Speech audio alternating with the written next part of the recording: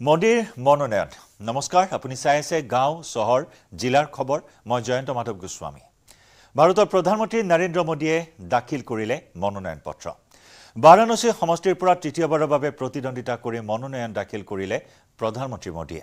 চাৰিগৰাকী প্ৰস্তাৱকসহ উত্তৰ প্ৰদেশৰ মুখ্যমন্ত্ৰী যোগী আদিত্য নাথৰ উপস্থিতিত বাৰাণসী জিলা নিৰ্বাচনী বিষয়াক দাখিল কৰিলে মনোনয়ন পত্ৰ।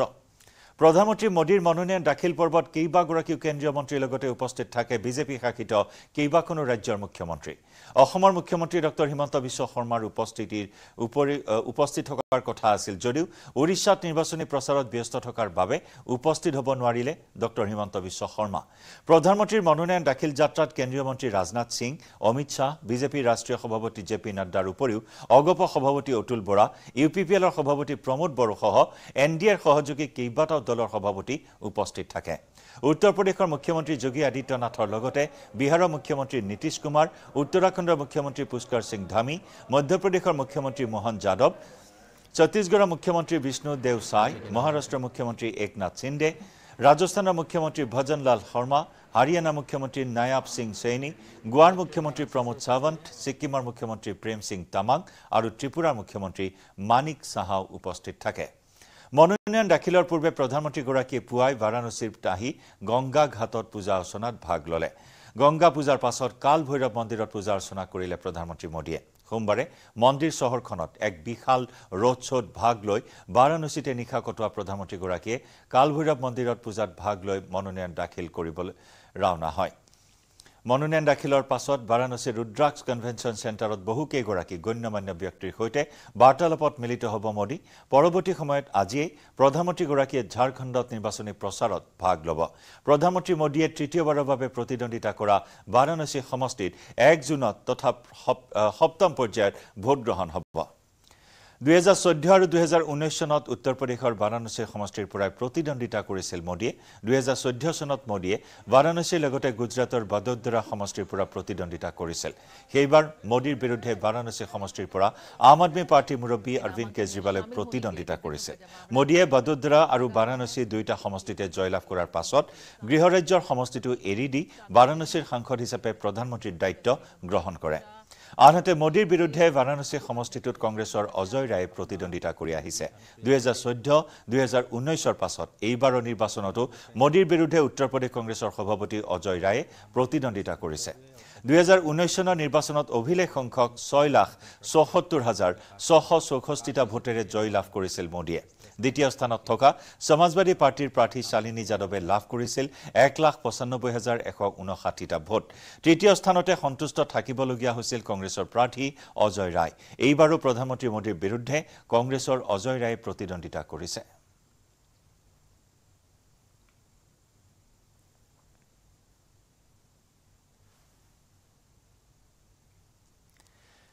পৰৱৰ্তী খবৰ।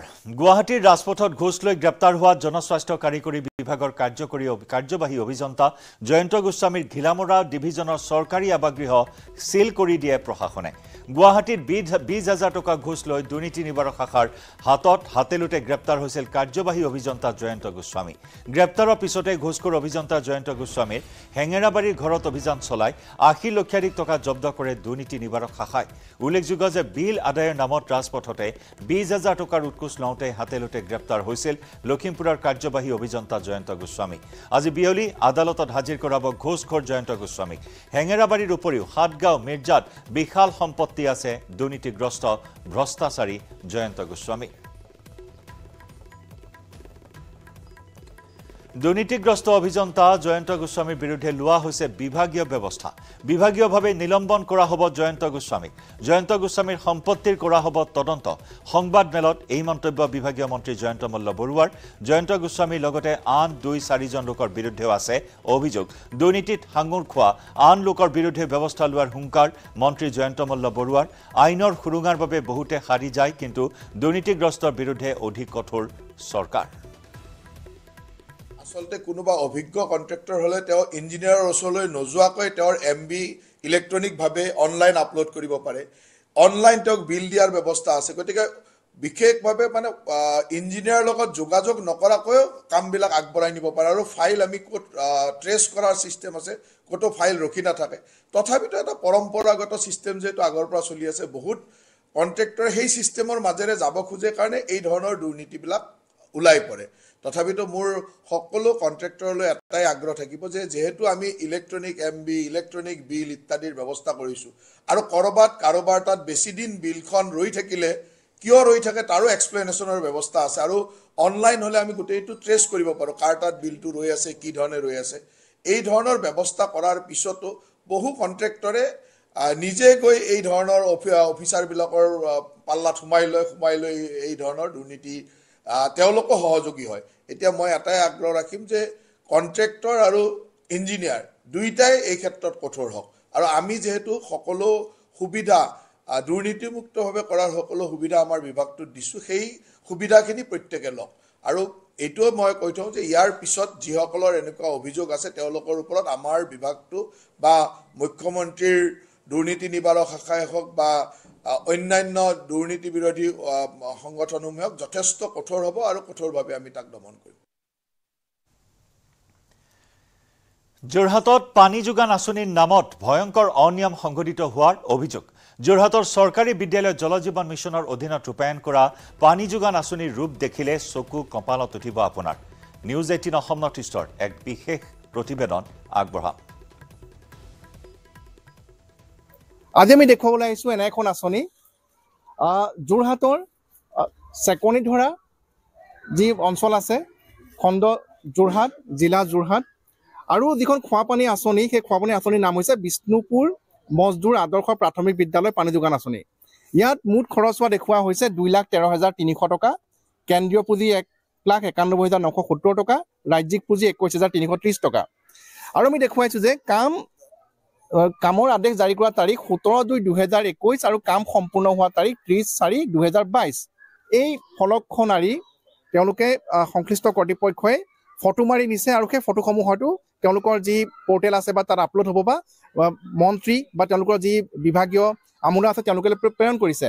কিন্তু স্কুল কৰ্তৃপক্ষই আমাক যি জানিবলৈ দিছে যে কামৰ নামত কি হৈছে আৰু কিবা কৰিছে নেকি ইয়াতে? অঁ প্ৰথম কথাটো হৈছে কি আজি কেইদিনমানৰ আগতে এই যোৱা ন তাৰিখৰ দিনা আজিতো তেৰ চৈধ্য তাৰিখ আজি তেৰ তাৰিখৰ ন তাৰিখৰ দিনা সেই ফলকখন মাৰিলতহে আচলতে গাঁৱৰ মানুহ মই গাঁৱৰে ব্যক্তি গাঁৱৰ মানুহ হিচাপে আমি গম পাইছোঁ।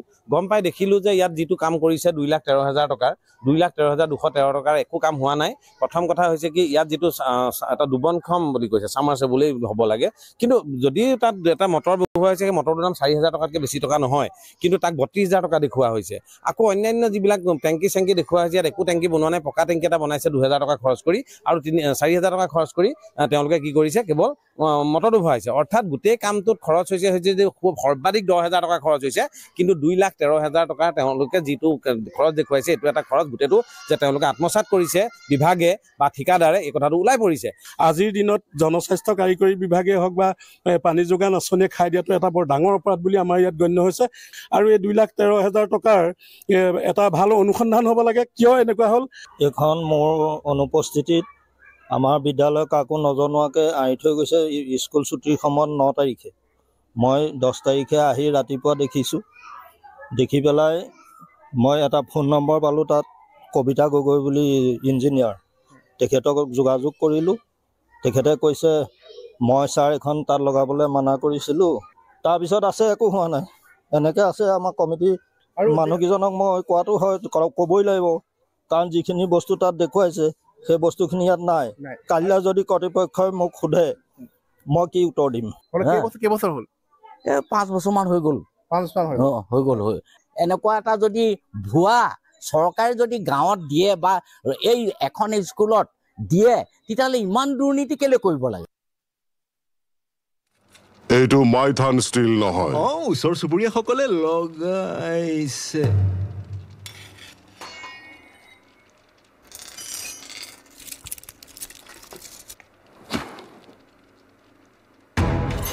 ষ্ট্ৰং মানে?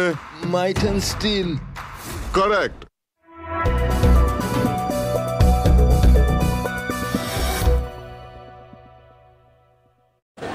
আজি প্ৰাক্তন ইৰাণৰ ফৰেইন মিনিষ্টাৰ বৈদেশিক পৰিক্ৰমা মন্ত্ৰী বিদেশ মন্ত্ৰী তেনে পৰিপ্ৰেক্ষিতত তেনেকুৱা পৰ্যায়ৰ এগৰাকী নেতাৰ ফালৰ পৰা অহা এই মন্তব্য আচলতে স্বাভাৱিকতে কোনেও সহজভাৱে নিশ্চয়কৈ নলয় বা দকৈ ইয়াৰ আন আন দিশসমূহো আলোচনা কৰিব পৰ্যালোচনা কৰি চাব বিশেষকৈ ইজৰাইলে। এতিয়া আন আন এটা কথা তেওঁলোকে কথাটো এইধৰণে কৈছে যে কিবা কাৰণত যদি তেওঁলোকে থকা তেওঁলোকৰ তাত থকা ইৰাণৰ তাত থকা যি নিউক্লিয়াৰ ফেচিলিটিসমূহ আছে য'ত নিউক্লিয়াৰ প্ৰগ্ৰেম তেওঁলোকে কৰে তাত যদি আক্ৰমণৰ ঘটনা যদি ঘটে তেনেহ'লে আহ, তেওঁলোকৰ যি এটা উদ্দেশ্য তেওঁলোকৰ যি এটা কাম কৰাৰ ধৰণ সেইখিনি গোটেই সলনি হ'ব। নীতি নিজৰ সলনি কৰি নিজৰ দেশখনক ৰক্ষা কৰিবৰ ধৰণে এটা ইংগিত স্পষ্টকৈ ইজৰাইলৰ প্ৰতি ইতিমধ্যে দিছে। আৰু অৱশ্যে অৱশ্যে এই দুহেজাৰ বাইছ চনৰ কথা যিটো ক'লো তেতিয়াও ইৰাণৰ ফালৰ পৰা এনেকুৱা ধৰণৰ এটা এখন ছবি দেখুওৱা হৈছিলে যে ইৰাণে টেকনিকেলি কৌশলগতভাৱে তেওঁলোক কেপেবল তেওঁলোক সক্ষম যে তেওঁলোকে নিউক্লিয়াৰ বোমা এটা তেওঁলোকে তৈয়াৰ কৰি দিব পাৰে কিন্তু তেওঁলোকে বনোৱা নাই। সেইখিনি কথা তেওঁলোকে কৈ আহিছে। তেওঁলোকে এতিয়ালৈকে তেওঁলোকে বনোৱা নাই বা তেওঁলোকে সেই ধৰণৰ সিদ্ধান্ত লোৱা নাই। কিন্তু দুহেজাৰ বাইছৰ পিছত এই সংঘাতৰ চৌব্বিছৰ যিটো মন্তব্য সেয়া সহজভাৱে নিশ্চয় লোৱা মন্তব্য নহয়। তেহৰাণৰ যি গোটেই নিউক্লিয়াৰ প্ৰগ্ৰেম তেওঁলোকৰ যিখিনি কাম কাজ তেওঁলোকে কৰে পাৰমাণৱিক যিখিনি প্ৰগ্ৰেম তেওঁলোকে কৰে সেয়া তেওঁলোকে যদিও বা পিচফুল প্ৰগ্ৰেম বুলি তেওঁলোকে দাবী কৰি আহিছে কিন্তু ইৰাণৰ যিগৰাকী ছুপ্ৰিম লিডাৰ আটাইতকৈ ডাঙৰ লিডাৰ আয়তুল্লাহ আলী খামেনি তেওঁ আচলতে দুহেজাৰ চনতেই তেওঁ এটা ফটৱা জাৰি কৰি তেওঁ কৈ থৈছিলে যে এই ধৰণৰ নিউক্লিয়াৰ বোমা তেওঁলোকে তৈয়াৰ নকৰে। বা পিছত দুহেজাৰ ঊনৈছ চনতো এই কথাখিনিক দোহাৰিছিলে যে তেওঁলোকে নিউক্লিয়াৰ বোমা বা তেনেকুৱা কৰাটো অনুচিত বা সেয়া তেওঁলোকক ধৰ্মই নকয় আৰু সেইবাবে তেওঁলোকে নিউক্লিয়াৰ বোমা তৈয়াৰ নকৰে। কিন্তু এই যিটো ভাবুকি এই ভাবুকিটোৱে কি বুজাইছে বা এই ভাবুকিটোৱে কি ধৰণৰ ইৰাণে এক প্ৰকাৰ বুজাই দিছে নেকি যে তেওঁলোক কিমান কেপেবল তেওঁলোকৰ তেওঁলোক কিমান সক্ষম? আৰু ইৰাণ ইৰাণৰ কিন্তু মিলিটাৰী টেকনলজি বা ইৰাণৰ মিলিটাৰী যিবোৰ নীতি বা তেওঁলোকৰ সামৰিক যিটো শক্তি সেই শক্তিৰ ফালৰ পৰা কিন্তু এখন শক্তিশালী দেশ বুলি তেওঁলোকে নিজকে প্ৰতিপন্ন কৰিছে। ইজৰাইলক শেহতীয়াকৈ সেই ড্ৰোনসমূহ পঠিয়ায়ো। ইজৰাইলে যদিও বা উভতি ধৰিলে কিন্তু ড্ৰোন পঠিয়ায়ো। নিজৰ শক্তিৰ যেন এটা উমান দিয়াবলৈ বিচাৰিছিলে। যি নহওক আচলতে এই গোটেইখিনিৰ কথাৰ মাজতে এতিয়া পৰৱৰ্তী সময়ছোৱাখিনিত কেনেকৈ কথাখিনি আগবাঢ়ে সেয়া লক্ষণীয় হ'ব। কিন্তু মন্তব্যৰ জৰিয়তে যেন ইৰাণে এক প্ৰকাৰ তেওঁলোকে যে বা তেওঁলোকৰ বডি লেংগুৱেজ তেওঁলোকৰ মাইণ্ড গেম এটা যেন স্পষ্টকৈ তেওঁলোকে বুজাই দিবলৈ বিচাৰিছে যে দেশখনৰ শক্তি কিমান। ইয়াৰ লগতে আমি দৰ্শকক আন দুটা কথাও জনাই থ'ম যে ইৰাণে বৰ্তমান যি ইউৰেনিয়াম এনৰিচমেণ্ট কৰা হয় সেয়া ছিক্সটি পাৰ্চেণ্ট পিউৰিটিলৈকে ইউৰেনিয়াম এনৰিচমেণ্ট কৰে। কিন্তু ৱেপন গ্ৰেড অৰ্থাৎ অস্ত্ৰত ব্যৱহাৰ কৰিব পৰা যিটো ইউৰেনিয়াম গ্ৰেড সেইটো নাইণ্টি পাৰ্চেণ্টলৈকে এনৰিচ কৰা হয়। অৰ্থাৎ ইৰাণৰ হাতত হয়তো ক্ষমতা ক'ৰবাত থাকিব পাৰে।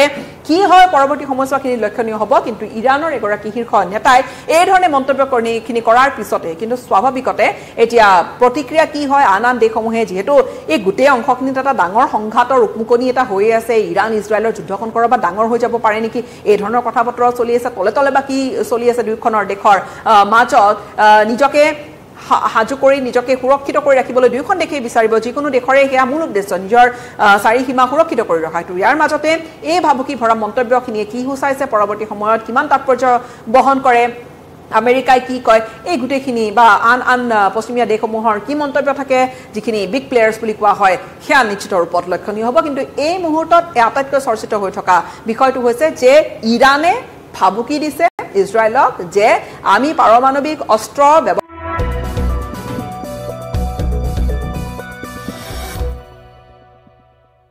গুৱাহাটীত আই পি এলৰ উন্মাদনা।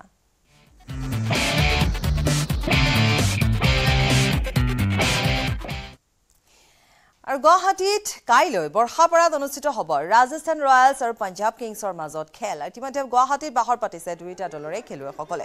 দেওবাৰে টীম পাঞ্জাৱ কিংছ উপস্থিত হোৱাৰ পিছতে সোমবাৰে সন্ধিয়া গুৱাহাটীত উপস্থিত হয় সঞ্জু বাহিনী। ইতিমধ্যে সোমবাৰে বৰ্ষাপাৰাত অনুশীলন চলালে টীম পাঞ্জাৱ কিংছে।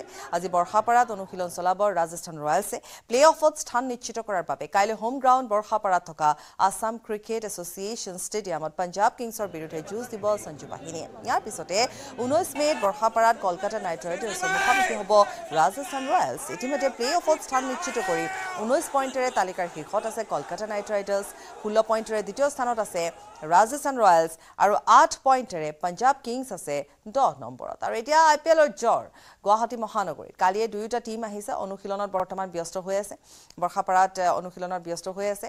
আৰু কালি তেওঁলোকে বিমানবন্দৰত উপস্থিত হোৱাৰ পিছতে নিজৰ নিজৰ যিসমূহ হোটেল তেওঁলোকৰ বাবে ঠিক কৰি থোৱা আছে তেওঁলোকে তাত উপস্থিত হৈছে।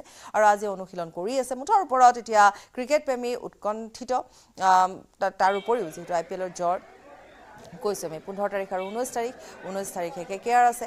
আৰু ইফালে সকলোৱে আশা প্ৰকাশ কৰি আছে প্ৰীতি জিন্টা বা শ্বাহৰুখ খান অহাক লৈ ইতিমধ্যে বিশেষ লাউঞ্জ তাত নিৰ্মাণ কৰা হৈছে। আৰু বিশেষভাৱে এইবাৰ আই পি এলৰ যি উৎকণ্ঠা খেল অনুৰাগীৰ যি উৎকণ্ঠা সমানে সমানে কিন্তু শ্বাহৰুখ খান অহাক লৈও এক উৎকণ্ঠা দেখিবলৈ পোৱা গৈছে। অৱশ্যে সেয়া এতিয়াও নিশ্চিত হোৱা নাই। কিন্তু তথাপিতো আমি কৈছোঁৱেই যে সেই উন্মাদনা সেই উৎকণ্ঠা এতিয়া গুৱাহাটীত দেখিবলৈ পোৱা গৈছে। অৱশ্যে গুৱাহাটী বুলি নহয় ৰাজ্যৰ বিভিন্ন প্ৰান্তৰ পৰা খেলৰ অনুৰাগীসকল আহিব ক্ৰিকেট প্ৰেমীসকল আহিব ইতিমধ্যে তেওঁলোকে আহিছেই আৰু কাইলৈ যিহেতু খেল আছে আৰু কাইলৈ আমি কৈছোঁৱেই যে কাইলৈ খেল আছে আৰু লগতে বৰ্ষাপাৰাত অনুশীলন আজি বৰ্ষাপাৰাত আৰু কালি বৰ্ষাপাৰাত অনুশীলন চলাই আছিলে। সেই অনুশীলনৰ কিছু মুহূৰ্ত আমি এই মুহূৰ্তত আগবঢ়াইছোঁ।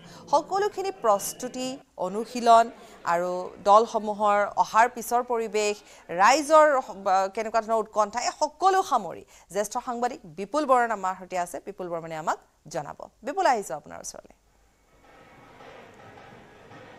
পাপৰি আপুনিও খুব সুন্দৰকৈ জনালে যে দুয়োটা দল গুৱাহাটীত আহি উপস্থিত হৈছে আই পি এলৰ খেল অহাকাইলৈ। বিয়লি সাত বজাৰ লগে লগে আৰম্ভ হ'ব এইখন এই ছিজনৰ ফাৰ্ষ্ট মেচ আপোনাৰ Rajasthan royals versus kings eleven Punjab. আৰু তাৰপিছত ঊনৈছ তাৰিখে তেতিয়া গ্ৰুপৰ টপ হৈ আছে Kolkata knight riders versus second পজিশ্যনত থকা আমাৰ ঘৰুৱা দল ৰাজস্থান ৰয়েলছৰ মাজত ছেকেণ্ড মেচখন অনুষ্ঠিত হ'ব। এই দুয়োখন মেচক লৈ যথেষ্ট আকৰ্ষণ। আজি দেখিছে বতৰ খুব ভাল আৰু বতৰে বিধি পথালি দিয়াৰ কোনো সম্ভাৱনা নাই এই মুহূৰ্তলৈ। গতিকে ভাল বতৰ হ'লে এখন ভাল খেল নৰ্থ ইষ্টৰ ক্ৰিকেট প্ৰেমীসকলে উপভোগ কৰিব পাৰিব। এই মুহূৰ্তত আমাৰ ছিনিয়ৰ কেমেৰা পাৰ্চন অঞ্জন আৰু মই আমি দেখুৱাইছোঁ আমি লগত আমাৰ ইয়াৰে সাংবাদিক উৎপলো আছিলে ইয়াৰ আগতে তেওঁ লাইভৰ জৰিয়তে জনাইছিলে আৰু এই মুহূৰ্তত আমি দেখুৱাইছোঁ অসম ক্ৰিকেট এছ'চিয়েশ্যনৰ ষ্টেডিয়ামখনত। ইয়াত হাল্লা বল বুলি ৰাজস্থান ৰয়েলছে তেওঁলোকে লিখিছে ঔৰধ হে তো ভাৰত হে তেওঁলোকে নতুন শ্লোগান আৰম্ভ কৰিছে। আৰু এইখন হ'ল আপোনাৰ ছেকেণ্ড হোম গ্ৰাউণ্ড তেওঁলোকৰ Jaipur Rajasthan first home ground এইখন ছেকেণ্ড হোম গ্ৰাউণ্ড আৰু আজি চাৰি বজাৰ লগে লগে ৰাজস্থান ৰয়েলছে প্ৰথমতে আহি তেওঁলোকে অনুশীলন চলাব। আৰু ৰাজস্থান ৰয়েলছৰ আমাৰ দৰ্শকে জানে যে কেপ্টেইন সঞ্জু চেমচং হওক বা ইয়াত চিমৰন হেটমায়াৰ বা ৰিয়ান পৰাগৰ পৰা ইউজবেন্দ্ৰ চহল অশ্বিন তেওঁলোক আছে। আৰু লগতে যদি আমি আহ, পাঞ্জাৱ কিংছ ইলেভেনৰ কথা কওঁ আৰ্চাদীপ তেওঁলোক আছে। আৰু তাৰ উপৰিও ইয়াত ধৰক ৰাহুল চহৰ তেওঁ আছে আৰু হৰ্ষেল পেটেল আছে। গতিকে খুব উপভোগ্য মেচ এখন হ'ব যদিও আশানুৰূপ ফলাফল দাঙি ধৰিব পৰা নাই আহ, পা- পাঞ্জাৱ দলটোৱে। কিন্তু তথাপিও আই পি এলৰ আটাইকেইটা দলে মানে আটাইকেইটা দলে সমান বুলি ক'ব লাগিব গতিকে ঊনৈছ বিছ আৰু তেনে তুলনাতে আপোনাৰ পাঞ্জাৱে অলপ প্ৰদৰ্শন অলপ হতাশজনক হৈ আছে যদিও কালিৰ খেলাখন তেওঁলোকে আহ, যোৱাবাৰত জিকিছিলে এইবাৰো তেওঁলোকে এডভান্টেজত আছে গতিকে এখন ভাল খেল হ'ব পাপৰি আমি জনাইছোঁ। আৰু ৰাজস্থান ৰয়েলছ দলটো আছে মেফেয়াৰ হোটেলত আছে ৰিজৰ্টত সোণাপুৰত। আৰু লগতে আলহী দল পাঞ্জাৱে আছে ভিভান্তাত। আৰু দুয়োটা দলে অনুশীলন আৰু আমি যদি চাওঁ তেতিয়াহ'লে কাইলৈ পোন্ধৰ তাৰিখৰ যিখন মেটচ আছে আৰু ইফালে ঊনৈছ তাৰিখৰ সকলো লৈ ৰাইজ যথেষ্ট উৎকণ্ঠিত। মই আৰু দুটা কথা আপোনাৰ পৰা সুধিম। প্ৰথম কথা হৈছে টিকট বিক্ৰী। কাইলৈ যিহেতু খেল আছে কালিৰ টিকট বিক্ৰীৰ কিছু আমি সবিশেষ জানিম আপোনাৰ পৰা। আৰু লগতে আমি ঊনৈছ তাৰিখৰ খেলৰ টিকটৰ বিক্ৰীৰ কিছু সবিশেষ জানিম আপোনাৰ পৰা যে কিমান বিক্ৰী হৈছে। সেই গোটেইখিনি কথা আৰু গোটেইখিনি তথ্য। চাওক আহ, অহাকাইলৈ মেটচখনৰ কাৰণে থাৰ্টি ফ'ৰ থাউজেণ্ড টিকট তেওঁলোকে বিক্ৰী কৰিছে। আৰু আমি যদি টোটেল কওঁ তেতিয়াহ'লে প্ৰায় চল্লিছ হাজাৰ দৰ্শকে অহাকাইলৈ খেলখন চাব। ইয়াৰ ভিতৰত ধৰা আৰক্ষী জোৱানসকল নিৰাপত্তাৰ দায়িত্বত থকা তেওঁলোকেও খেলখন চায়। বা ইয়াতে প্ৰাক্তন ৰঞ্জী ক্ৰিকেটাৰ বৰ্তমানৰ ক্ৰিকেটাৰসকলে বা ক্ৰিকেট ক্ৰিকেটৰ সংগঠকসকলে খেলখন চায় সাংবাদিকসকলে চায়। গতিকে আটাইখিনি ফালৰ পৰা আশা কৰা হৈছে যে আৰু তেওঁলোকৰ বুক মাইছৰ ভলেণ্টিয়াৰ থাকে। গতিকে দৰ্শকৰ উপৰিও আৰু ছয় হাজাৰ হ'লে আপোনাক চল্লিছ হাজাৰ দৰ্শকে অহাকাইলৈ পাঞ্জাৱ আৰু ৰাজস্থানৰ মাজৰ আই পি এলৰ এই গুৰুত্বপূৰ্ণ খেলখন চাব। আৰু তাৰ পিছৰখন কিন্তু বেছি সেই সেইখনৰ ক্ৰেজটো বেছি আকৰ্ষণটো বেছি। কাৰণ কিয় তাত এক নম্বৰ দল হ'ল কলকাতা দুই নম্বৰ দল হ'ল ৰাজস্থান। আৰু সেইখন খেলত ইতিমধ্যে আমাৰ ৰাজস্থান ৰয়েলছৰ অধ্যক্ষ ৰঞ্জিত বৰঠাকুৰৰ লগত টেলিফোনত কথা পাতিছে শ্বাহৰুখ খানে। গতিকে শ্বাহৰুখ খান সেইখন মেচত অহাৰ সম্ভাৱনা আছে। আৰু তাৰ বাবে যি উত্তৰ পূৰ্বাঞ্চলৰ ক্ৰিকেট প্ৰেমীয়ে যথেষ্ট আগ্ৰহেৰে সেইবাবে বিপুল ঊনৈছ তাৰিখৰ খেলখন বিশেষকৈ কে কে আৰৰ কথাটো আছেই বাৰু। কিন্তু শ্বাহৰুখ খানো অন্য এটা ক্ৰেজ সেইবাবে টিকটৰ নাটনি হোৱাৰ সম্ভাৱনা আছে নেকি? টিকটৰ নাটনি মানে টিকেট শেষ হৈছে। টিকেট এটাও বিচাৰিবলৈ বিচাৰিলেও এতিয়া পোৱা নাযায়। আৰু যিহেতু ৰাজস্থান ৰয়েলছৰ এইখন ছেকেণ্ড হোম গ্ৰাউণ্ড গতিকে তেওঁলোকে কমপ্লিমেণ্টাৰী পাছবিলাক তেওঁলোকেহে আপোনাৰ ডিষ্ট্ৰিবিউট কৰে। অসম ক্ৰিকেট সন্থাৰ ইয়াত কোনো হাত নাই। আৰু অসম ক্ৰিকেট সন্থাই এইখন ৰেণ্টত আপোনাৰ ভাড়া হিচাপত এই গ্ৰাউণ্ডখন আপোনাৰ আৰ আৰক দি দিছে। গতিকে সেইখন খেলৰ ক্ষেত্ৰত আপোনাৰ কলকাতা নাইট ৰাইডাৰ্ছ ঊনৈছ তাৰিখৰ আৰ আৰৰ খেলখনৰ টিকট এটাও নাই। সকলো টিকট বিক্ৰী হৈ গৈছে আৰু বিশেষকৈ যোৱাবাৰ প্ৰীতি জিন্তা আহিছিলে। পাঞ্জাৱৰ অন্যতম স্বত্বাধিকাৰী। অহা কাইলৈ তেওঁ অহাৰ সম্ভাৱনা আছে। ধাৰাভাষ্যকাৰসকল ইতিমধ্যে গুৱাহাটীত আহি উপস্থিত হৈছে নৱজিত সিং সিদ্ধু সুনীল গাভাস্কাৰৰ পৰা আপোনাৰ ৰিকি পণ্ডিত সকলো আম্পায়াৰসকল আহিলে গুৱাহাটীত আৰু দুয়োটা দল আহি পালে অনুশীলন চলাব। আজি বিয়লি যোৱাকালি চলালে পাঞ্জাৱে গতিকে সামগ্ৰিকভাৱে গুৱাহাটীয়ে দুখন আই পি এলৰ মেচৰ কাৰণে সম্পূৰ্ণৰূপে সাজু হৈছে। পাপৰি। নিশ্চয় বিপুল আৰু সেই যি উৎকণ্ঠা সেই যি উন্মাদনা এতিয়া কালিৰ পৰা আমি দেখিবলৈ পাম। পোন্ধৰ তাৰিখ ঊনৈছ তাৰিখ দুয়োটা দিন আছে। গতিকে এই দুয়োটা দিনতে সেই একেটা পৰিৱেশ দেখিবলৈ পোৱা যাব। আপোনাক ধন্যবাদ জনাইছোঁ বিপুল বৰ্মন। আপুনি সকলো প্ৰতিটো মুহূৰ্তৰ প্ৰতিটো খবৰ আপুনি আমাক দি যাব। আমি ইতিমধ্যে কৈছোঁৱে যে পোন্ধৰ তাৰিখৰ টিকটে হওক বা ঊনৈছ তাৰিখৰে হওক সকলোখিনি শেষ হৈছে। আৰু যিখিনি উৎসাহ ৰাইজৰ মাজত আছে সদায় থাকেই ক্ৰিকেট বুলি ক'লে থাকেই। তাৰ উপৰিও কিন্তু ক'ব পাৰি ফোনত ফ'কাছ কৰিছে শ্বাহৰুখ খান অহাক লৈ অন্য এটা ক্ৰেজ। গতিকে সেইবাবেও টিকেট টিকট নাই বুলি এক প্ৰকাৰ ক'ব পাৰি। আজি আমি কিছু খবৰ আপোনালোকক জনালোঁ আৰু কাইলৈৰ দিনটোত যিহেতু খেলেই আছে গতিকে কাইলৈৰ বাবে সকলোৱে ইতিমধ্যে অপেক্ষা কৰিছে। মুঠৰ ওপৰত বতৰেও অন্ততঃ বাধা বিধি পথালি নিদিয়ে বুলি এক প্ৰকাৰ ক'ব পাৰি কাৰণ বতৰ ফৰকাল বতৰ ভাল। খেল চাবলৈ সকলো এতিয়া সাজু।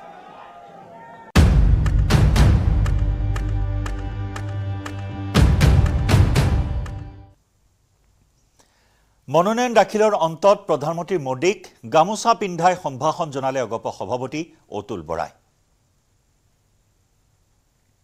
এয়া অসম চৰকাৰৰ মন্ত্ৰী কৃষিমন্ত্ৰী অতুল বৰা। অতুল বৰাই আজি প্ৰধানমন্ত্ৰী নৰেন্দ্ৰ মোদীয়ে মনোনয়ন দাখিল কৰাৰ পিছত গামোচা পিন্ধাই অভিনন্দন জ্ঞাপন কৰিলে শুভেচ্ছা জ্ঞাপন কৰিলে সম্ভাষণ জনালে অগপ সভাপতি অতুল বৰাই। মুখ্যমন্ত্ৰী ডক্টৰ হিমন্ত বিশ্ব শৰ্মা উপস্থিত থকাৰ কথা আছিল যদিও উৰিষ্যাত নিৰ্বাচনী প্ৰচাৰ অভিযানত ব্যস্ত থকাৰ বাবে উপস্থিত থাকিব নোৱাৰিলে মুখ্যমন্ত্ৰী হিমন্ত বিশ্ব শৰ্মা। আৰু বাৰাণসীত আজি মোদীয়ে মনোনয়ন পত্ৰ দাখিল কৰাৰ পিছত এনেদৰে অগপ সভাপতি কৃষিমন্ত্ৰী অতুল বৰাই গামোচা পিন্ধাই সম্ভাষণ জনালে প্ৰধানমন্ত্ৰী নৰেন্দ্ৰ মোদীক। সমান্তৰালকৈ বিজেপিৰ ৰাষ্ট্ৰীয় অধ্যক্ষ জে পি নাড্ডা কেন্দ্ৰীয় প্ৰতিৰক্ষা মন্ত্ৰী ৰাজনাথ সিং কেন্দ্ৰীয় গৃহমন্ত্ৰী অমিত শ্বাহ তেওঁলোককো একে শাৰীত দেখিবলৈ পোৱা হ'ল।